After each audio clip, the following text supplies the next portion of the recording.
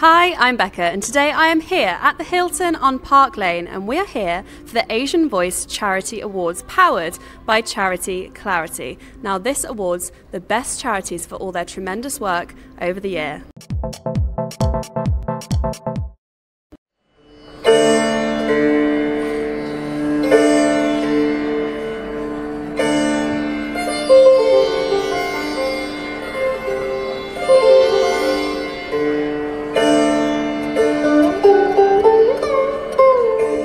Is the, third annual Charity Awards with Asian Voice and Charity Clarity. It's about celebrating diversity across communities and uh, awarding the best charities and social enterprises across the UK. What's really important for us is something that Mahatma Gandhi said, which is be the change you want to see in the world. So, the objective of tonight is to show everybody uh, what great work happens in small communities, particularly smaller charities that would never get recognition otherwise. Now the Charity Clarity is the technical partner for every charity applications that come in for the awards. We give it a rating and only the best rated charities will go to the panel of judges. I believe that in human society today, there are so many good things.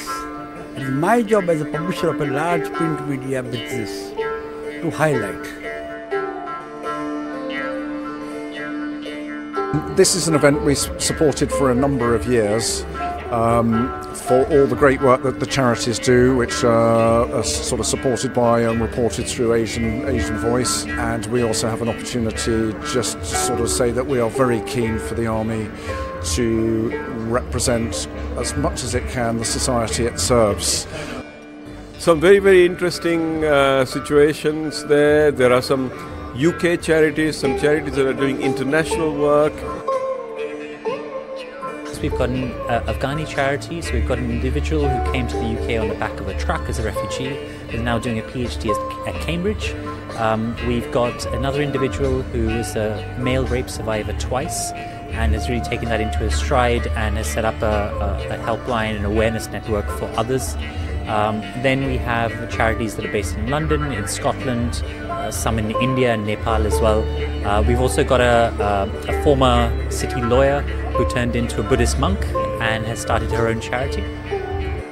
Yes, I started off as an investment banker, mainly living in Hong Kong and uh, doing financial analysis of companies. Uh, so I had a very fast paced and successful career, I can say. And um, then I had the odd thing happen to me, which was I was held hostage in a hotel room in Jakarta, Indonesia.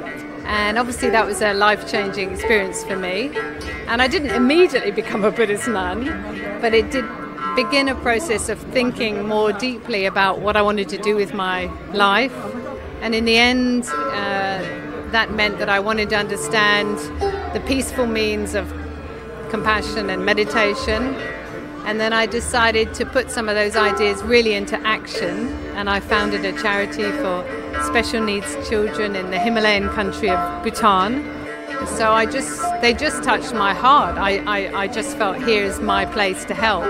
And you're right, there's so many charities because, uh, you know, need is everywhere, isn't it? So I think sometimes that can feel a bit overwhelming and you don't know where to start.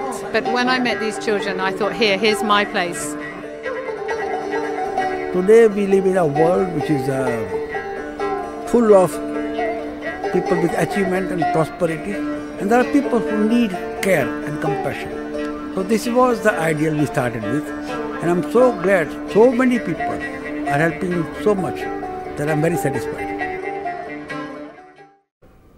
So, we have had a fantastic evening celebrating the achievements of many fantastic charities from across the world. And a big congratulations to all of the winners this evening. I've been Becca, reporting for you.